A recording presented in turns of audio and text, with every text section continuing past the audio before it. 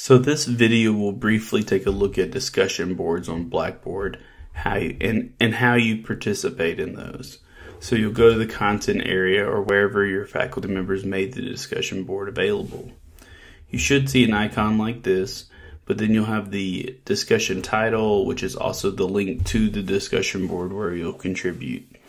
Typically below this, you'll see the questions or the prompts that your instructor wants you to respond to and you may find other information that indicates um, that you need to reply to other classmates' posts. So be, be on the lookout for things like that.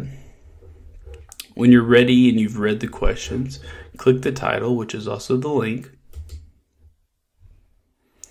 and it'll bring you to the forum page. You'll see other students' posts here. So what you'll need to do to create yours is click Create Thread. You'll see the question again, so you can always reference it.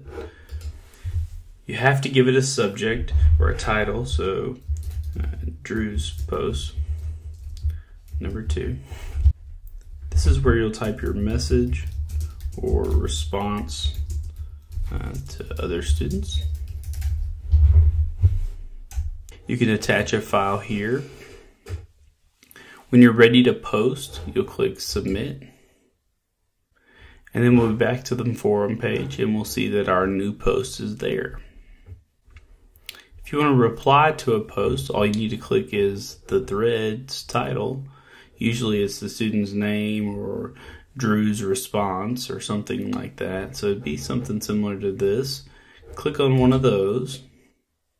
You'll be able to read their original message and then you'll be able to click reply. So when you're ready to reply, you'll click reply. You won't have to type a subject, but you'll type your new message here.